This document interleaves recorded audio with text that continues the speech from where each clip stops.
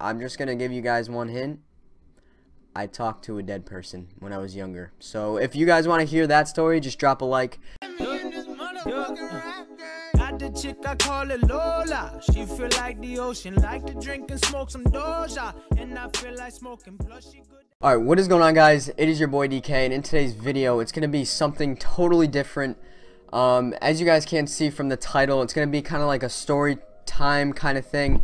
I'm just going to tell some stories that has happened in the past few years of my life. Um, so as you can see from the title, it's going to be like haunted, like my house is haunted. As you can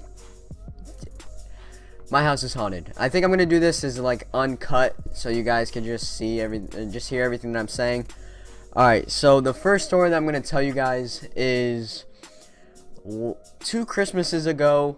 Um, you know how we go to? Well, I don't know if you guys do, but I go to Christmas mass, and when we go to Christmas mass, we have to bring these candles because we're kids, whatever.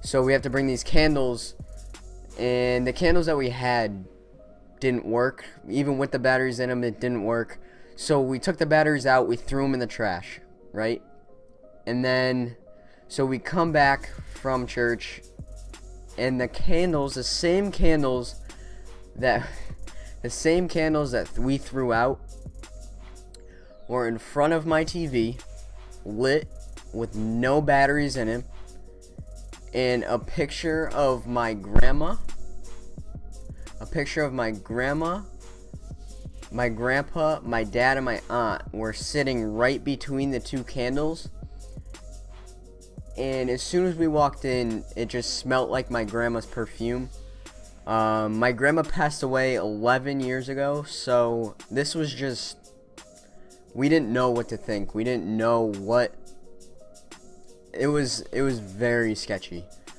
Um, so basically, guys, this is gonna be this series on my channel. I'm just gonna talk about different stories. If you guys do want to hear more of these stories, I am more than happy to tell them. I actually have a lot of stories.